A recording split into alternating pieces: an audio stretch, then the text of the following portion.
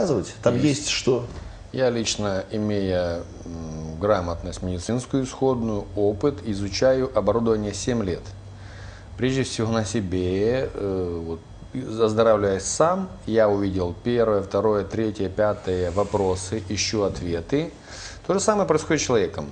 Э, Сталкиваюсь вот с чем. Человек э, ходил, удостоверился, что ему это полезно, купил, взял домой, и я бы рекомендовал всем, даже находясь дома, вы оздоравливаетесь, возвращайтесь опять в зал. У вас все равно будут вопросы. Они есть, они возникают. Сам, потом родственник.